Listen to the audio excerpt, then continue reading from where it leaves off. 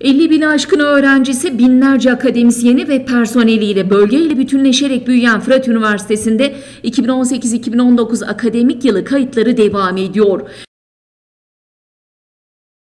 Rektör Profesör Doktor Kudbettin Demirdağ da Fırat Haber aracılığıyla önemli mesajlar verdi.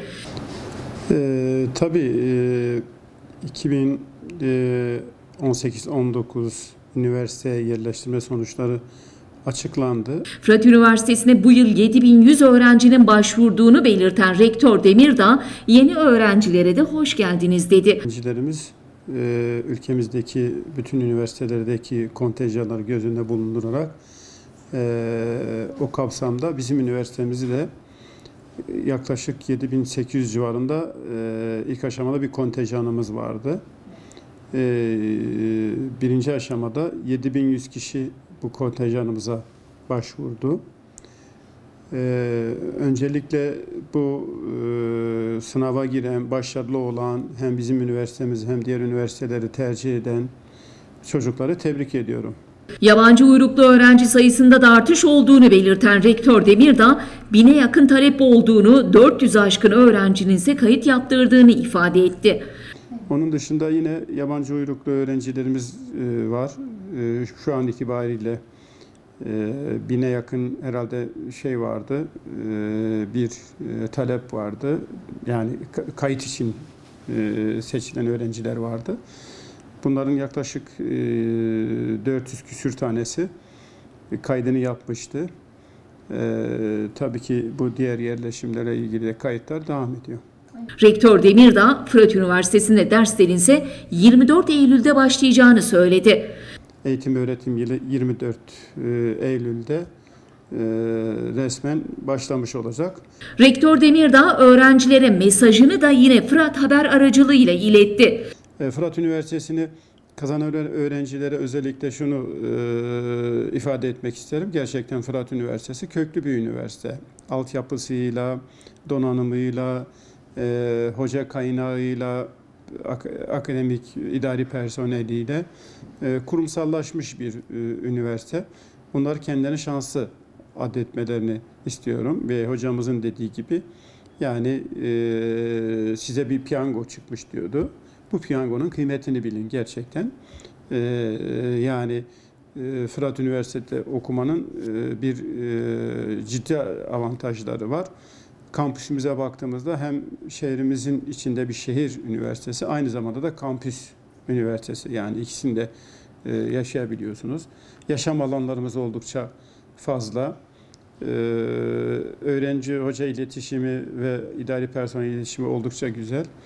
Ee, bunları avantaj olarak görüyoruz. Öğrencilerimizin de özellikle başlarken hayatlarının güzel planlamaları gerekiyor derslerini zamanında çalışarak, derslerine zamanında devam ederek e, ileride ulaşa, oluşabilecek e, aksaklıklara veya gecikmelere maruz kalmamaları için düzenli ders çalışmalarını, düzenli devam etmelerini özellikle rica ediyorum. Bunun dışında kendilerini e, ülkemizin her alanda nite yetişmiş insana ihtiyacı var.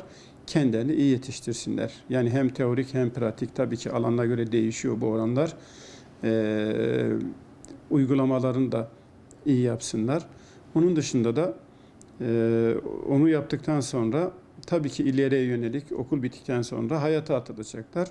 Bunun hazırlıklarında da özellikle e, okulu yarıladıklarında yavaş yavaş o hazırlıklarını da beraberinde yapsınlar. Gerekirse dil eğitimlerini, gerekirse işte diğer e, sınavlarla ilgili hazırlıklarını da yapmaya çalışsınlar. Bunun işte adı KPSS ya da ALES ya da yabancı dil neyse e, onları da yapıp çünkü ciddi bir şey var. E, rekabet şartları var. Rekabet şartlarına öğrencilerimizin ayak uydurması lazım. Özellikle yeni gelen öğrencilerimiz henüz bunun farkına varmazlar ama şu anda devam etmekte olan öğrencilerimize özellikle bu mesajı söylemek istiyorum.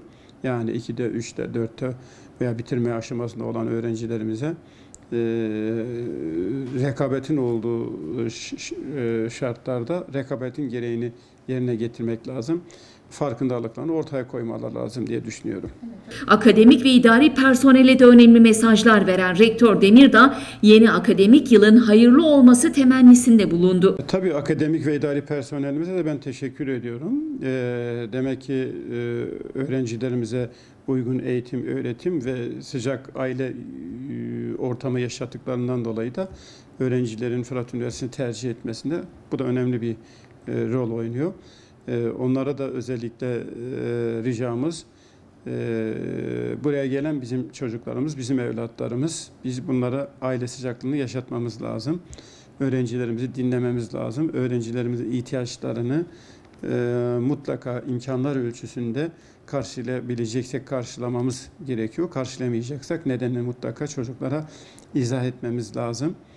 E, ve her zaman bütün hocaların, bütün idari personelimizin kapısının öğrencilerimize açık olmasını özellikle kendine rica ediyorum.